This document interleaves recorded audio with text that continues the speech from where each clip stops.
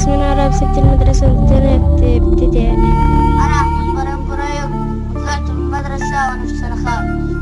أنا فتحت طلعت من سنة رابعة. عمر طلع من سنة رابعة. ما معناش مصاريف نقدر عليه ونوديه المدرسة.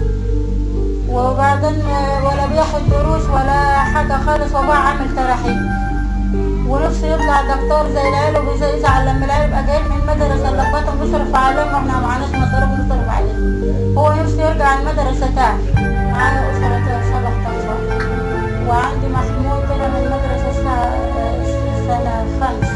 طلع من خمس. عامل تراحيب جهده قليل ما بيشتغلش وبيشتغل على آخر كتب وخلاص. بيحاول يساعد مع صغير في السن عنده 15 سنة. وعامل تراحيب وأبوه عامل تراحيب يجيبه كل 15 يوم. وإن شاء الله يكون هو لازم يقضي المدة بتاعته 15 يوم. وعلى الله ما حالتناش حاجة الله بفضل ربنا. نفسي عمر يتعلم عشان يطلع دكتور أو مهندس أو أو أي حاجة عشان ينفع نفسه ينفع المجتمع ينفع ينفع عايز أرجع المدرسة تاني وعشان أطلع دكتور وأعطي الناس الفقراء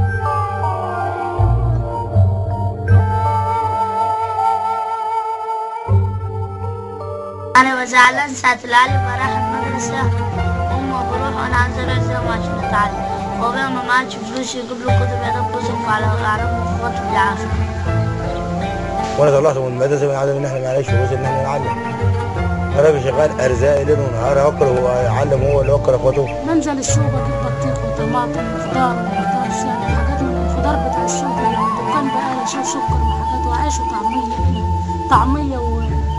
وفول الحاجات اللي ماشيه هي في الوسطى دي بنزل السوق اجيبها وابيعها هنا في البيت واشتري وعيش منها طلبات دي دم مش هي البيت بس الحاجة اللي تطلع على قد الأكل والشرب ليه الحاجات دي على الأكل والشرب مفيش ما يقدرش منها مجهود للمدرسة ولا للتعليم ولا للدرس يعني عن الحاجات دي ولا لللبس أصلا. يا دوب كان على الأكل وعلى قد الشرب وعلى العيش بس.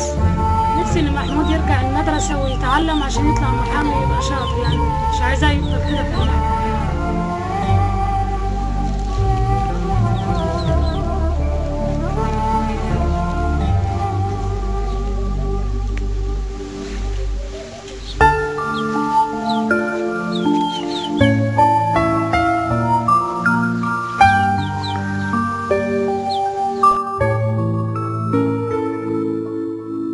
نفسي أرجع المدرسة عشان أتعلم ويطلع دكتور.